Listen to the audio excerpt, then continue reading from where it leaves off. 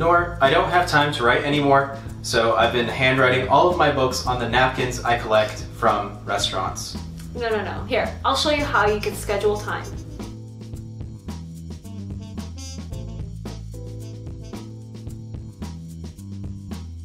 Hey guys, Nour here, and here's how to write a novel with a busy schedule. But before we get started, have you checked out my novel Divinity Falling? No? What are you waiting for? Go watch the book trailer. It's right here in the cards. Divinity Falling is releasing on October 1st, but you could pre-order your copy now. Let's get started. We all have busy schedules, and when you have school, work, children, and personal chores as a writer, it becomes extremely hard to write. So how are you supposed to write when you have an exam coming up or when you come home after 6 p.m.? If you're like me, you might even have a day job alongside a personal job like YouTube and publishing a book. And trust me, publishing a book takes so much time that it's often difficult making time for writing. But you can do it, just like I can do it. The truth is, we usually do have time to write, we're just too tired or unmotivated after a long, hectic day. Think about it, you always find time to watch Netflix at the end of the day, right? I mean, you're even watching my video right now. Or maybe you read a book before bed. Whatever you do in the little time you have at the end or beginning of your day is more than enough time to write. Okay, I know, I know, you need your own you time. Otherwise, the creative juices won't flow. You won't feel motivated blah, blah, blah. Those aren't just excuses, people. You don't need four hours of you time. You can reserve one hour for writing. You can even cut it to 30 minutes if you really have other things to do, like taking care of kids. Now, some of you have homework at the end of each day, so I get that you might struggle to make time for writing.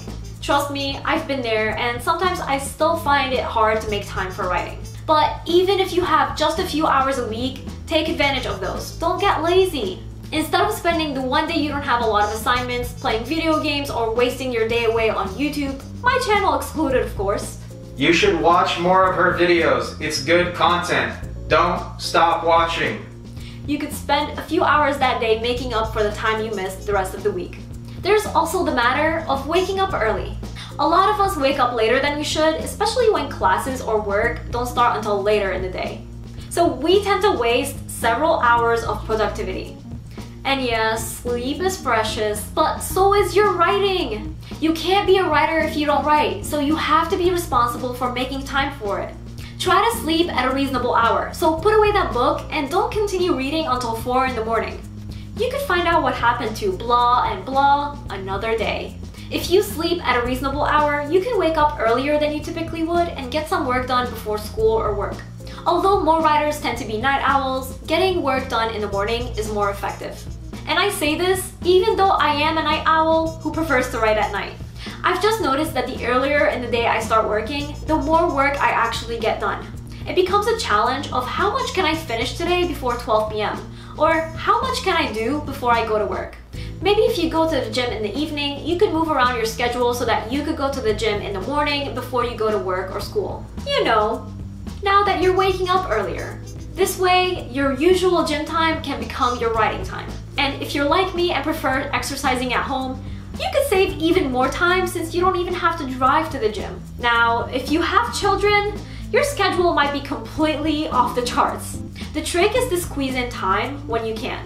If your baby is sleeping, take 15 minutes to write. Or if you want to nap when your baby naps, you can always squeeze in writing time each day by having your partner, friend, or neighbor watch over your baby for 30 minutes at a time.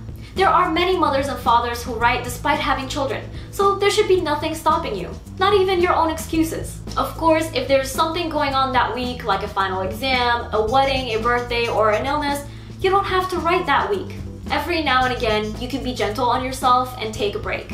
The trick is to find time after this break to get back to writing. And I promise, you can make the time. It might be a little tough and inconvenient, but you are a writer, and writers write. You can do it! So those are pretty much my tips. Also, I just want to remind everyone that my novel, Divinity Falling, is releasing on Tuesday, October 1st, and you can now pre-order your own copy. In fact, anyone who pre-orders Divinity Falling will be entered in my giveaway. Just make sure you send me a picture of your receipt to enter in the giveaway, and you could post it in the giveaway form in the link below. The three grand prize winners will get a signed hardback copy of my book, and I will also be giving out random giveaway goodies to those who pre-order. Things like mugs, bookmarks, and t-shirts. So make sure you fill out the form in the description below. And all who pre-order and enter my giveaway will get the first five chapters of the book in advance.